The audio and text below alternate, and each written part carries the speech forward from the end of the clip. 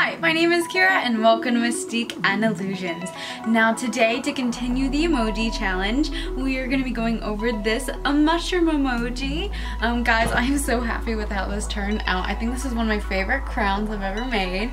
Um, and then um, all the products are going to be listed down in the description box below. Don't forget to leave a like and subscribe. Thanks for watching, guys. Let's get started.